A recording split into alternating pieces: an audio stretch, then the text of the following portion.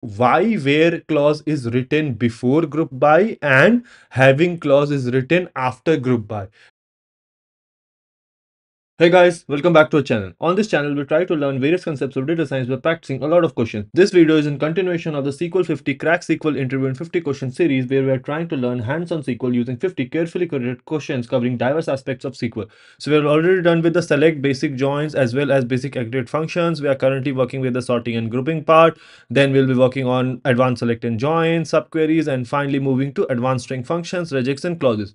In this video, we are going to solve this question called classes more than 5 students and try to learn from it. So yeah, let's jump right in. So this is the 26th video of this series called classes more than 5 students and let's look at what the question has to say.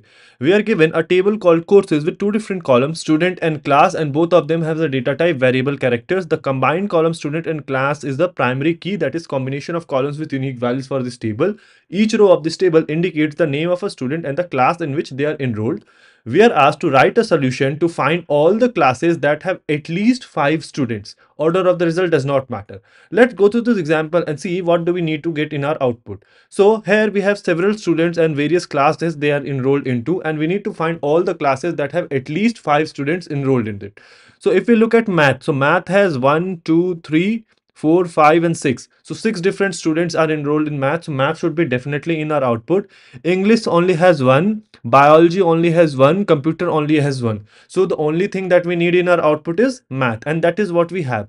To do this question, the first thing that we should do is from this table called courses, we should group by the classes and count the number of students that are enrolled in each of these classes. So if I do from this table called courses, if I group by the class, right, and then if I return, so if I go ahead and do return the class and let me count the number of students. So if I count the number of student and let me alias this as number of students and let me go ahead and run this and let's see what do we have in our output.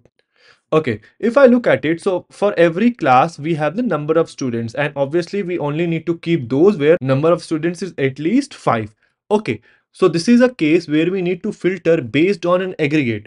After performing a group by, we need to keep only those rows where our number of students is greater than equal to 5. Okay, in that case, using where won't work why? Because, for example, if I go ahead and let's say our question was simply find out all the students who are enrolled in, let's say, class math. So here, row by row, you need to find that wherever your class is equal to math, you return the student.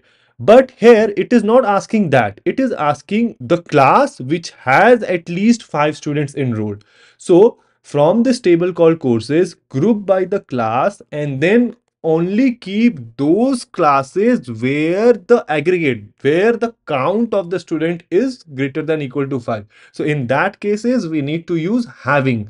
So having count of student greater than equal to 5 after performing the group by it will say okay the count of student is greater than equal to 5 for only math and then you return the class math. And if i run this let's see what do we get in our output. So now this is accepted. Also this will also tell you why where clause is written before group by and having clause is written after group by.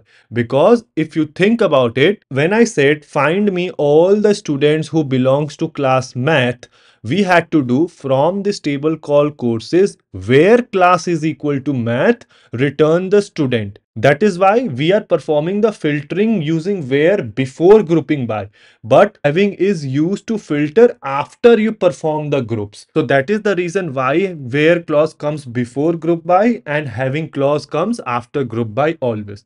Let us go ahead and submit it to see if it passes all the test cases. So this is accepted and this is how we do it. Not a very difficult question, but it clears our concept of when to use where clause and when to uh, use having clause and what is the difference between them and why where comes before group by and having comes after group by.